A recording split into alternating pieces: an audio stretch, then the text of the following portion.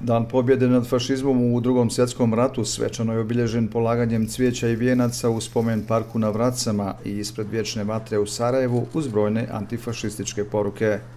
Antifašizam nije nikakva ideološka kategorija. Antifašizam je civilizacijska tekovina i kao takvog treba ga i shvatiti i prihvatiti. I u tom smislu možda upravo u ovim vremenima u kojim mi živimo jako je važno afirmirati antifašizam kao humanističku i civilizacijsku vrijednost. Povodom 9. maja dana pobjede u Banja Luci je marširao besmrtni puk, čiji su učesnici nosili fotografije poginulih uz poruke da se stradanja tokom drugog svjetskog rata nikada ne zaborave. Ono što ne trebamo nikad zaboraviti, makar kako se neko borio za ovaj narod i za slobodu. Naša Banja Luka pred drugog svjetskog rata imala je oko 25.000 stanovnika.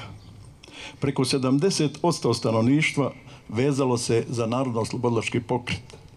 Poginulo je hiljad boraca i dvije hiljade žrtava fašistskog terora. Antifašističke poruke na dan pobjede stižu iz Mostara. Šaljemo poruke ljubavi, poruke mira, poruke zajedništva, jedinstva i tako dalje. Kakvo je bilo u antifašističkoj koaliciji svjetskoj 45. kada je vojno pobjeđen fašizam.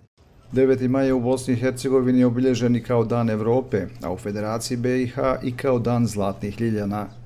Meni se čini da nema ništa logičnije i prirodnije u toj simbolici naći i ljude koji se borili za Bosnu i Hercegovinu, odnosno ljude koji se oduprli fašizmu, sam nekom novom obliku fašizma, odnosno na drugi svjetski, na vrijeme u drugom svjetskom ratu. Svi skupovi održani 9. maja u Bosni i Hercegovini, iako organizovani različitim povodom, upriličeni su uz antifašističke poruke i poziv da se stradanja iz prošlih ratova ne zaborave. Za glas Amerike, Dragan Stegić.